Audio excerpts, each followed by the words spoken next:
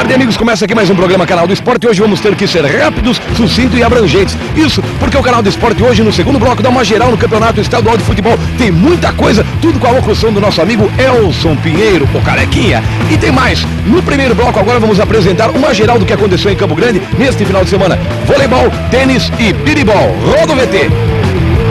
VT, cara, não é câmera. Água para todo lado e muita movimentação na pequena piscina de 4 por 8 É isso mesmo, estamos falando do piribol, um esporte que está tomando conta de Mato Grosso do Sul. Neste final de semana aconteceu o primeiro Open Campo Grandense. 13 equipes toparam a parada, duas delas de Dourados. O Open prossegue nos dias 25 e 26 nas piscinas da Associação da Caixa Econômica Federal. Essa é uma preparação dessas equipes do interior e da capital para que elas possam disputar o Campeonato Brogê que será realizado agora em Londrina, depois Paranaíba e consequentemente em Birigui, e que elas já preparem e entrem no ritmo de competição. Da água vamos para a areia com o torneio de voleibol quarteto misto. É isso mesmo, na quadra, homens e mulheres se misturam em busca da vitória. O evento, que reuniu 16 times, todos formados por funcionários públicos, aconteceu no Palácio Tiradentes, sede do Comando Geral da Polícia Militar. Paulo, você é o coordenador do campeonato, mas o seu time não foi o melhor, né? Acabou de perder. É, são as consequências do jogo, né? A gente entra tentando a vitória, que é o mais importante, e aceitar a derrota. O teu time perdeu. Culpa de quem? Dos homens ou das mulheres? Dos quatro. Terminamos o primeiro bloco nas quadras da Tennis Center. Mais de 200 tenistas participam até o dia 3 de abril do segundo circuito Heineken e Olímpica Júnior de tênis. Os dois campeonatos contam pontos para o ranking estadual e selecionam os melhores para o Masters 95, a festa do tênis que acontece no final do ano. Esse aqui é a abertura oficial do, dos campeonatos estaduais, né? Que é, começa com o circuito Heineken. Conta pontos também para o estadual. Conta ponto pro estadual. Tá certo, conversamos aqui com o Almir Silva, que é um dos coordenadores do campeonato. Tá certo ou errado?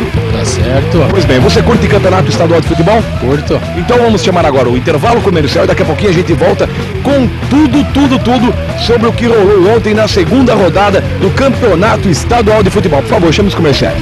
Vamos no nosso comercial agora, gente. Roda o comercial. Comercial, cara, não a câmera.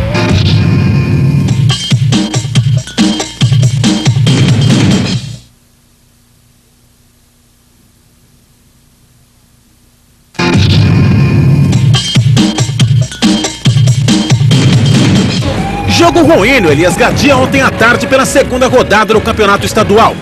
A equipe do Taverópolis recebeu o vice-campeão estadual do ano passado e o representante do estado na Copa do Brasil, a equipe da Sociedade Esportiva Ponta Poranense. Um Taverópolis desarrumado em campo que não exigiu muito da equipe de Ponta Porã, que veio à capital buscar um empate, mas acabou abrindo o placar aos 20 minutos do segundo tempo, numa bobeira da zaga do Taveira. Paulo César venceu Paulão e fez Ponta Porã 1 a 0. O ataque do Taveira estava mal em jogo e o treinador Altimar colocou o De Castres, que logo na primeira bola que recebeu, bateu forte de virada no canto esquerdo do goleiro Marcílio, empatando o jogo. Isso aos 32 minutos também do segundo tempo. Taveira 1, Ponta Poranense também 1. O resultado ruim para uma equipe que jogou em casa e vinha de um resultado negativo. um péssimo resultado. Uma equipe que apresentou o futebol que apresentou em Dourados e apresenta um, um futebol desse que apresentou aqui no Elias Gadia precisa ser mexida, precisa ser trabalhada. Nós vamos trabalhar a semana toda. Não estou contente, o time não rendeu aquilo que a gente esperava e a gente vai trabalhar a semana para que a gente possa enfrentar o Marítimo e que a gente saia com os três pontos que a gente tem que buscar, perder ponto em casa, deixamos de ganhar três pontos aqui. Isso aí vai fazer falta, a gente tem que trabalhar e tem que ir atrás do, do prejuízo. Realmente eu tive a oportunidade de entrar na partida, tive a felicidade de fazer o gol do empate, mas infelizmente nosso time não sobressaiu hoje. É, tivemos a infelicidade de empatarmos a partida dentro de casa, mas eu acredito que nas próximas partidas nosso time vai estar mais entrosado e consequentemente os resultados positivos vão aparecer. Agora você confere os outros resultados do Campeonato Estadual. Em Dourados, Operário de Campo Grande Operário de Dourados. Aos 32 minutos do primeiro tempo, Paulinho cobra escanteio e Márcio Vieira antecipa a zaga e faz Operário 1 a 0. O Operário de Dourados empatou aos 39 minutos do segundo tempo, através de Rivelino.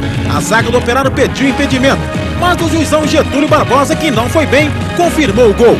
Final de jogo, Operário 1, Operário de Dourados também 1.